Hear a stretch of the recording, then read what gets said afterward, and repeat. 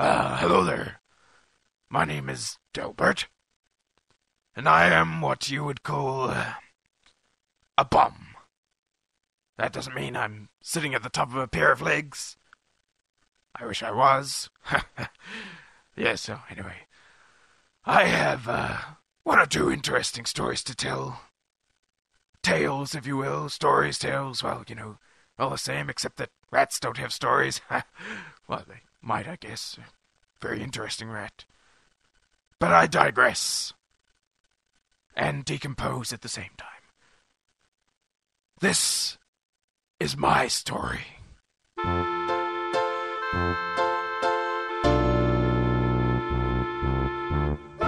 Now in my life, I'm I'm able to acquire many things: dirt, crusts, stains, scabs, but also alcohol, which is always a valuable commodity when you live on the streets and you like to drink. Now I'm the kind of guy who likes to sit around and drink and soil myself a bit. Now, some people think that defecating in your own trousers is unsanitary. Some people even call it disgusting. I mean, who decided that soap was so great? Or, or toilet paper? What's wrong with underwear? Underwear absorbs poo, absorbs it, and stores it. It's a win win situation. But that's enough beating the badger for now. As I was saying, alcohol. I won't tell you how I come by my alcohol because I could get someone into trouble. Someone like me.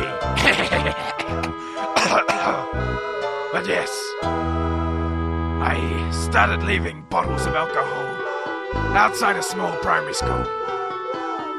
I looked at those children jumping rope, skipping rope, jumping skip rope, skipping jump rope, playing hopscotch, and I thought, these kids need some alcohol. I mean, come on, someone's gonna give it to them eventually.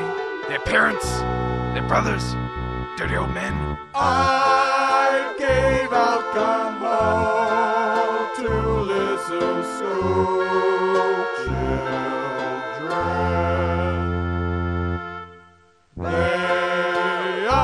such lightweights, watch them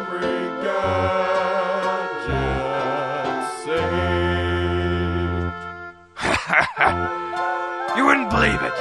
I mean, these kids, they just drank it all. They kept throwing up, but they kept drinking. I gave them everything vodka, rum, whiskey, and a bottle of some green stuff I found in a rubbish bin.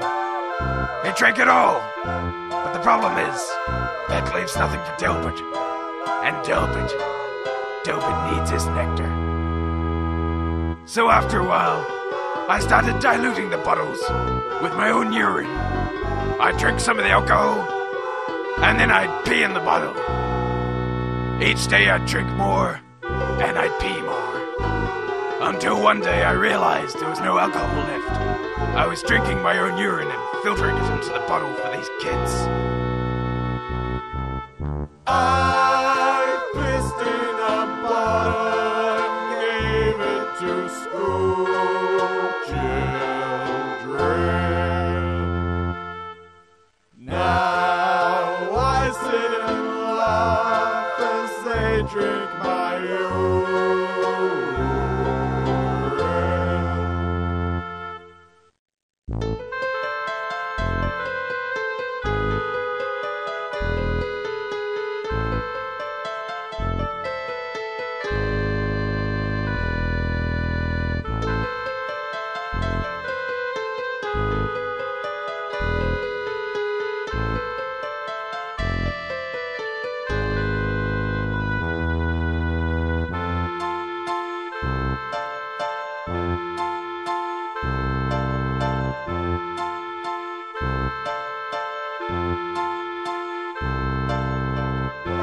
Oh, sorry about that. I got uh, arrested for indecent exposure.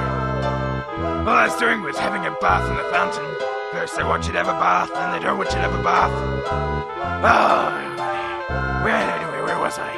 All right, the kids, the kids in the bottle, kids in the bottle, and the urine, my urine, my urine in the bottle. Ha, right, right. Um, Alright, uh, yeah, that's right. Um, after a while, I figured maybe I should stop this because, you know, the kids are carrying on drinking this stuff and throwing up over each other, and, you know, it just seemed like a, a waste of good urine that I could be drinking myself.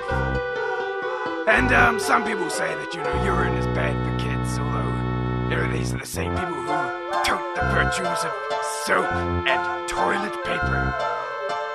As you can tell, this is something of a sore spot for Delbert. But anyway, yes. I was sitting around the house, when I say house, I mean cardboard box, throwing back a, a nice warm bottle of nectar. When all of a sudden, school children, hundreds of them, they missed it. They needed it. They wanted it. My precious urine.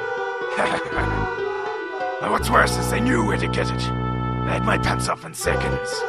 They started sucking me dry, like leeches, except urine you know, and vomiting all over me. I really, wasn't too bad. They're addicted to